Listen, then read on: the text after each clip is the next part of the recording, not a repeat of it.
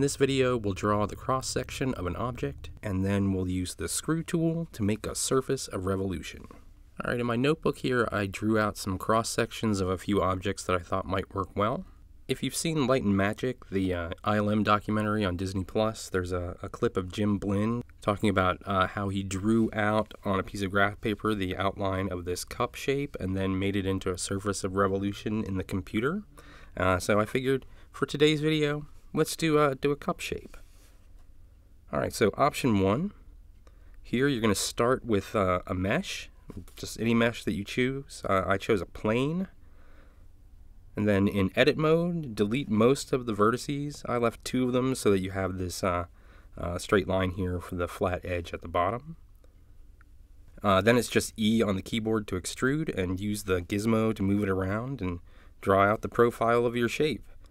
Uh, you want to keep your outline flat in 2D, so that is why I like using the gizmo. You could also use G and then hit X or Y to constrain on that axis if you wanted to do that. that that's an option. Once your drawing is uh, finished, go to the Modifiers tab, Add Modifier, choose Screw, uh, bump up the steps to 64, and then uh, right click on this one and choose Shade Auto Smooth, and that's going to give the, the best shading I think on this one. See, it looks like a Lego goblet. Alright, option two. This time we're going to use a Bezier curve. And this will allow us to have nice rounded corners on everything. This time I subdivided it and then I'm repositioning the points and the handles to make it the shape that I want. Uh, but you could also use the extrude, uh, then move points around in the, in the same way that we did before.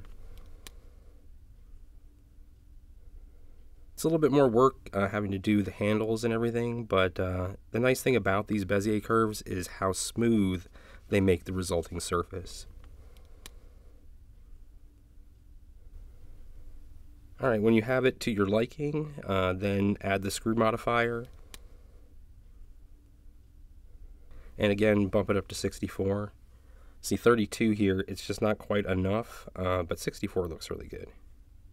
It is smooth shaded by default, so if you wanted to shade flat, you need to uncheck that in the modifier panel. Option 3. So this one was the most fun. So you're just going to go to Add, Grease Pencil, and then choose Blank, and then go into Draw mode, and then you just draw your object. And then once you're done, you go into Edit mode and clean things up. Now for this one, before you add the screw modifier, we have to take another step and convert it. So go up to Object, choose Convert, and choose Bezier. We'll do that one first. Uh, and it makes a new Bezier curve version of your drawing. So it keeps the old one. Alright, so we'll bump this up to 64.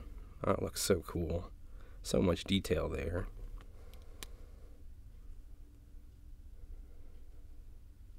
Alright, so now let's uh, select the original grease pencil drawing and we'll go to convert and choose polygon curve. It's pretty similar. Uh, I think the Bezier has uh, more pronounced grooves and the polygonal seems to be more smooth overall. But I think both look really nice. They look like pottery.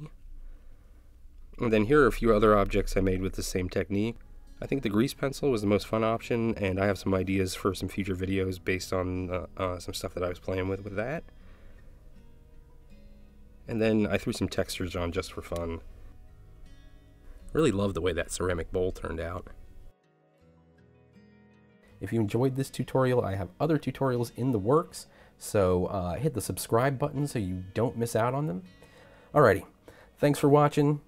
Cheers.